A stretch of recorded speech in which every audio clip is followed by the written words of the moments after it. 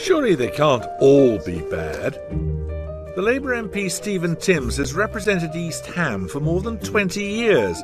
He's renowned as one of the diligent MPs out there. Because five of us living in a one small room, and my daughter's in and out in the hospital. How long have you been staying there? Six years. Six years. Timms has served his constituents at some real physical cost.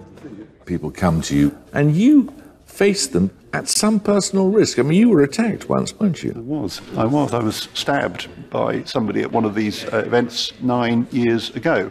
This was Choudhry armed with a kitchen knife, about to stab Stephen Timms at a community centre. I've been doing this for 25 years now as MP. Nothing like that had ever happened before or since.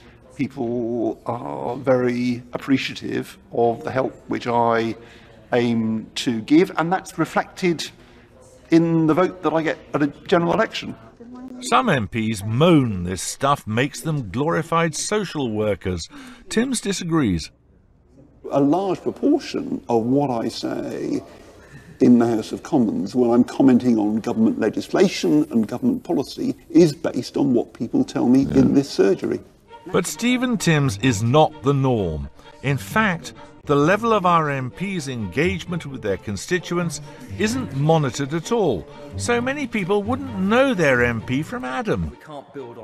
And if we do happen to see them on the telly when they bother to turn up on the green benches of Westminster, who are they speaking for?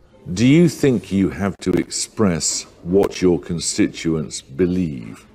A lot of the time, yes. But supposing you believe something that is different to what the majority of your constituents believe, as has happened with some MPs, for example, and Brexit.